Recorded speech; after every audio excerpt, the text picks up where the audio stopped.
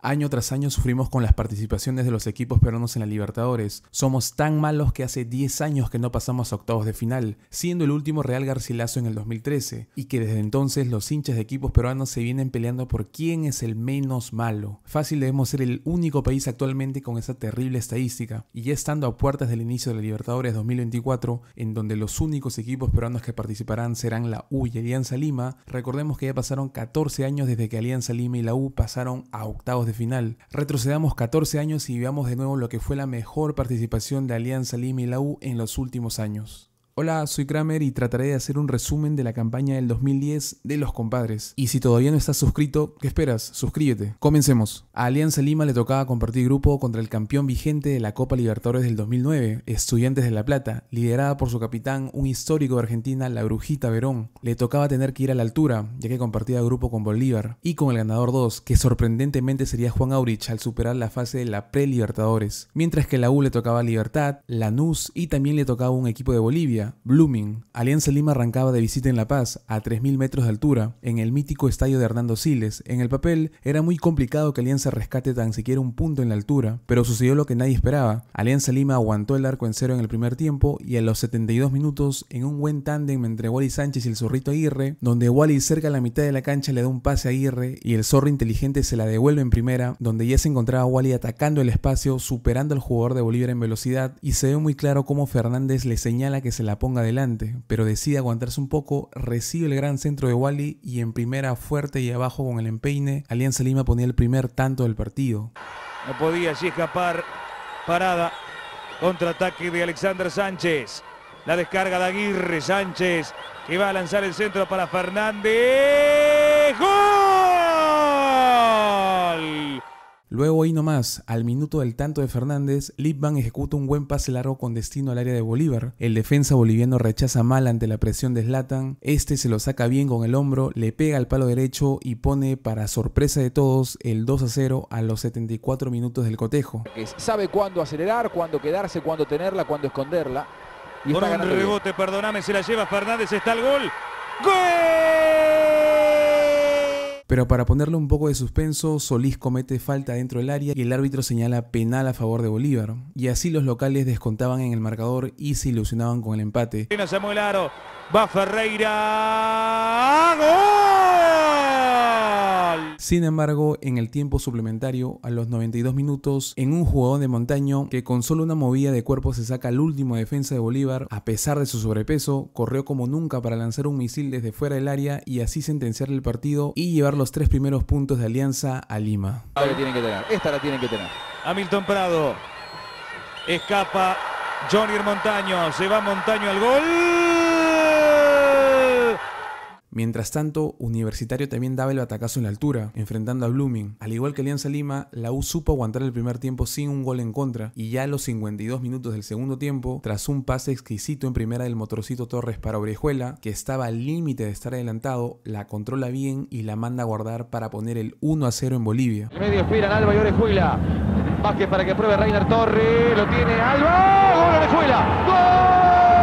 y para asegurar el partido aparece el Zorro Alba con una gran jugada individual por el sector izquierdo de la cancha. Se saca a dos rivales de encima, saca el centro y aparece por la derecha el mexicano Espinosa para rematar de una y ponía el 2 a 0 a favor de los cremas. Que bien jugó Libertad con Sarabia como libre el otro día. Alba elimina a Zavala. Centro para buscar la llegada de Torres. Espinosa gol. ¡Gol! Y para ponerle una pizca de tensión al partido, Villalba, con un remate a quemarropa desde fuera del área, descontaba para los locales. Suárez para girar, de frente llega Villalba. Sin embargo, no le alcanzó y Universitario se llevaba los tres puntos a casa. Y así acababa la primera fecha, con los compadres en el segundo puesto de grupo por diferencia de goles. Llega la segunda fecha y se da el partido quizá más importante para Alianza Lima en los últimos años a nivel internacional. Recibía al vigente campeón de la Libertadores, a Estudiantes de La Plata. Arranca el partido y Estudiantes, tras una mala realización de un mal despeje por parte de la defensa de Alianza, sorprende a los 8 segundos de haber comenzado el partido, poniendo el primero de la noche y silenciando a Matute. Sosa sería el autor de dicho gol. Si no me equivoco, es el gol más rápido de toda la historia de la Libertadores. La orden del juez, el partido marcha. Sosa queda rebote, atención, se viene el gol de estudiante. Sosa. Pero como todos sabemos, estábamos en presencia de la noche del prime del zorrito Aguirre. Tras un gran pase de Quinteros, Aguirre por derecha con su inalcanzable velocidad y ganando el uno contra uno al defensa de estudiantes, ponía el empate y desde allí hacia adelante sería el festín para los blanquiazules. La pelota la va sacando Quinteros. Aguirre, dos contra dos, va picando adentro, atención González. Aguirre, Aguirre. A los 33 minutos, en un contragolpe letal de Alianza, tras un rechazo largo del pelado González, Aguirre aguanta al jugador de estudiantes, deja abierto de piernas al otro y define cruzado para batir la portería de Orión. Y este gol es tan recordado por la celebración de Gustavo Costas al momento de que se estaba yendo expulsado. Experiencia va al centro, va de Sábato. El pelotazo largo de González. Allí busca Aguirre. Rodríguez con él. Aguirre que le gana. Atención. Aguirre.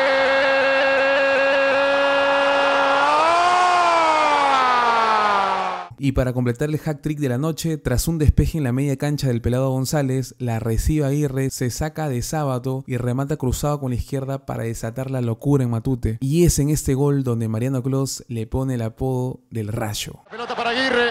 Aguirre con de sábado, pasa Fernández, qué bien que la hizo Aguirre.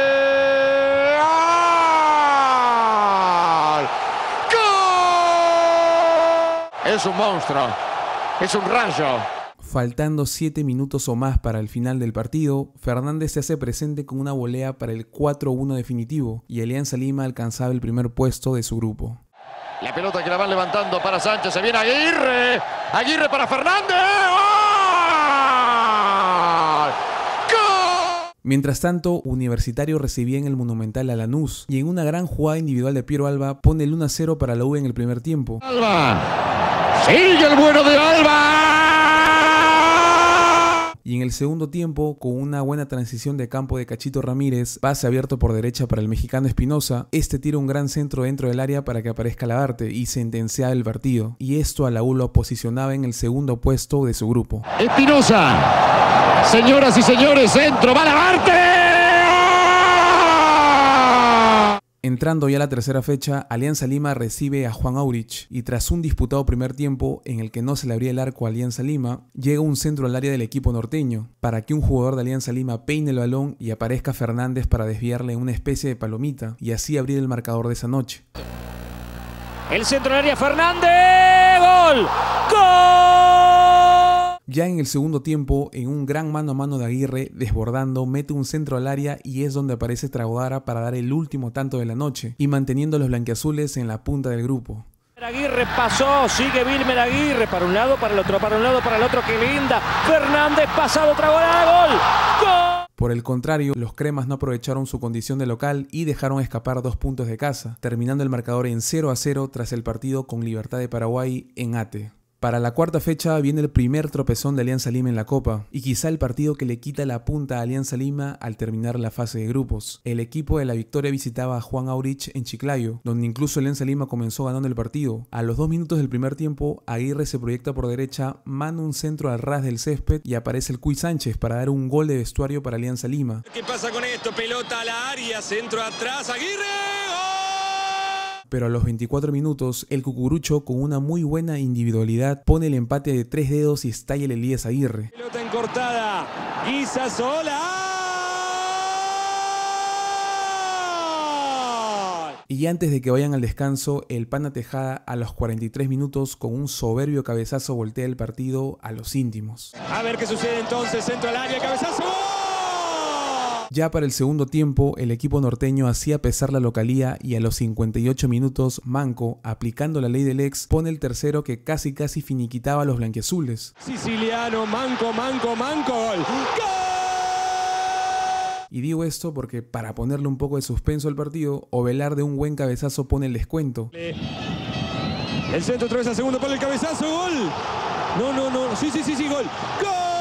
Pero no presentaría ni un problema para Juan Aurich, ya que en el último tramo del segundo tiempo, Ascoy, con un jugadón donde se saca a varios aliancistas, pone el cuarto y le arrebataba el invicto a Alianza Lima. Sensacional, que construye Coy, dejando a cuanto rival se cruzara por su camino para resolver. En cuanto a la U, tampoco la tuvo fácil. Le tocaba viajar a Paraguay para enfrentar a Libertad, el rival a vencer para adjudicarse en ese primer lugar. Lamentablemente para los cremas, Ayala ponía el primero del encuentro con un bombazo y con un poco de ayuda de Superman Fernández. Libertad a toda marcha con Víctor Hugo Ayala. Al arco de allí, Ayala. ¡Gol! Sin embargo, la U logra rescatar un puntazo con un buen gol de Cachito Ramírez, luego de un par de rebotes por parte de los jugadores del Libertad. Piri Salve la soltó muy bien, atención, viene el centro, un rebote, le queda a Ramírez, gol, gol. Y así nos acercábamos a la penúltima fecha, cada vez los compadres más asentados en sus grupos respectivos. Alianza Lima recibió a Bolívar, en lo que se esperaba que fuera un partido de trámite o fácil para los íntimos, sucedió todo lo contrario, pero es con el prime de Aguirre que con un jugador donde se saca a dos jugadores contrarios por la izquierda, saca un centro para que Fernández de 9 ponga el único tanto del partido, y Alianza Lima prácticamente aseguraba ese primer lugar, bueno, hasta ese momento. Para Aguirre, va el zorro Aguirre, elimina uno, elimina dos, insiste con el centro por arriba, y cabezazo, gol, Fernández, gol. Mientras tanto, los cremas continuaron dejando escapando puntos de local. Lo mismo que con Alianza, se pensaba que el partido contra Blooming sería un partido de trámite, pero el equipo boliviano logra rescatar un punto en Lima, y así la U se mantenía en el segundo puesto de su grupo. Por fin entramos a la última fecha. A Alianza Lima le bastaba tan solo un empate para quedarse con ese primer lugar, y eso le hubiera permitido un rival entre comillas más fácil en octavos de final, ya que los primeros se enfrentan a los segundos de cada grupo. Obviamente no la tendría nada fácil. Le tocaba viajar a La Plata, visitar al vigente campeón, Estudiantes de La Plata, que venía muy dolido después de esa goleada que recibió en Lima. El partido fue muy disputado. En el segundo tiempo Aguirre se pierde una clarísima ocasión sin arquero en la portería, y como todo buen equipo peruano, ya habiéndose cumplido los 3 minutos de tiempo extra y luego de una falta de Walter Vilches, falta por la que sale expulsado, Estudiantes ejecuta su tiro libre, mano en el área de Alianza y penal para los locales. El rebote favorece a Verón y así Estudiantes se quedaba con el primer lugar del grupo. Verón, atajó el arquero,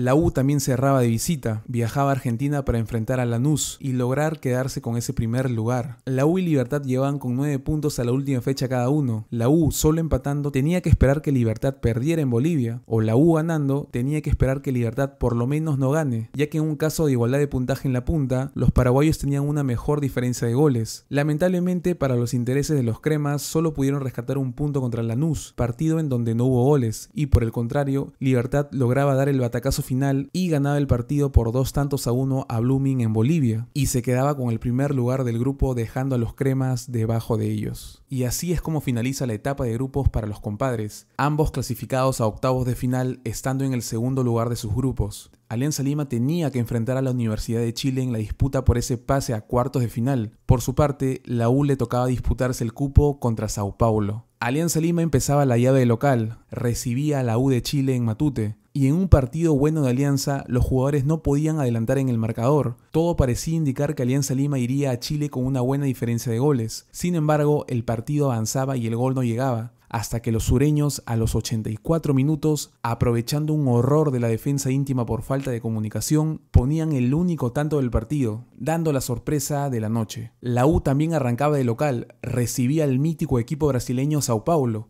pero no se sacaron ventaja alguna, el partido terminó 0 a 0, un resultado poco alentador, al igual que para Alianza, ya que ambos cerraban la llave de visita. Alianza Lima iba a Chile en busca de la hazaña, revertir ese resultado en contra que dejó el partido de ida. Alianza Lima comienza el partido jugándolo bien. Esto no sorprendía, en esta edición Alianza Lima jugó mejor de visita que de local, salvando algunas excepciones. Y a los 24 minutos, Aguirre desborda por el lado izquierdo, saca un buen centro y Fernández de cabeza ponía el empate en el global, con un gol polémico. ¿Esto sería un mal augurio para lo que sucedería más adelante? Quizá, ya que el portero de la U de Chile tapa el balón, pero para el línea, el portero la tapa el balón dentro del arco. Finalmente se le da el gol a Alianza Lima. Dejo aquí en la jugada de gol.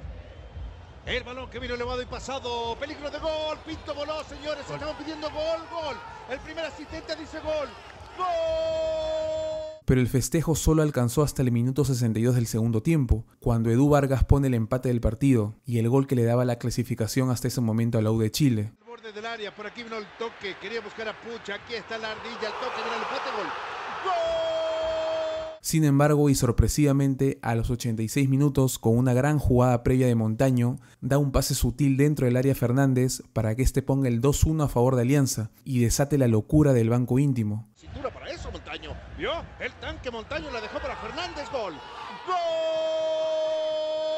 Con este resultado, el global quedaba empate 2 a 2, pero por los dos goles de Alianza de visita, el equipo de la victoria pasaba de ronda, hasta que, tras un mal despeje de Forsyth por el bendito gorro, el jugador de la U de Chile, tras una volea, desvía ese disparo con la cabeza del pelado González, descuadra Forsyth y gol de la U de Chile. Pero Montillo la bajó a sacar al centro. El cabezazo fue del negro González. Salió a cazar mariposas el arquero Forsyth. Y ahora Iturra, su compañero, golazo. No vale, no vale, no vale. ¡Gol! No vale, señores. ¿Por qué, Manuel? ¿Por qué no fue gol? Fuera de juego. Fuera de juego, exactamente. Segundo gol polémico de la noche, ya que línea alzaba la bandera señalando posición adelantada. Existía un jugador de U de Chile que obstruía la visión de Forsyth. A pesar del desvío, era un fuera de lugar claro. La presión del estratega uruguayo Gerardo Peluso, ex técnico de Alianza Lima, pesó mucho, manifestando 10 años después qué fue lo que le dijo al asistente en esa noche trágica para Alianza Lima. Nos van a matar, bajarán y nos matarán a todos. Todos se le vinieron encima al asistente, y tras una larga discusión con el árbitro principal y como revisando el bar, este último da el gol a favor de los locales, sin un sustento alguno, dejando fuera a Alianza Lima de la Libertadores. Lo cobró. Fue gol. Gol de la Chile, de la Universidad de Chile, señores. Yo quiero verla de No, nuevo. yo también, yo también quiero verlo. Mientras tanto, la U iba a Sao Paulo a buscar la llave de acceso para cuartos de final, y ya acostumbrados a los 0 a 0 de la U en esta edición, el partido queda empatado en el global, sin goles, ni de ida ni de vuelta. La llave lo disputaban en la tanda de penales. Cachito Ramírez era el encargado de ejecutar el primer penal, poniendo arriba los cremas con un buen disparo. Va Ramírez. ¡Gol! Y para sumarle a ello, John Top le tapa el primer penal a Sao Paulo, y nada más y nada menos que a Rogero Ceni, el arquero con más goles en la historia del fútbol. Eh, arquero peruano a taparla Rogerio Ceni. Va Rogerio Ceni. Atajó top. Ata- Sin embargo, de ahí en adelante la U erra todos sus disparos ejecutados. Primero el Zorro Alba disparando al cuerpo de Ceni, Allí va Piero Alba. Galván disparando a la mano izquierda de Ceni Me imagino un rebate potente. Allí va Galván. Atajó Rogerio Ceni. y por último Labarte mandándola fuera del arco. Ceni. Va al remate de la Barte afuera. Afuera.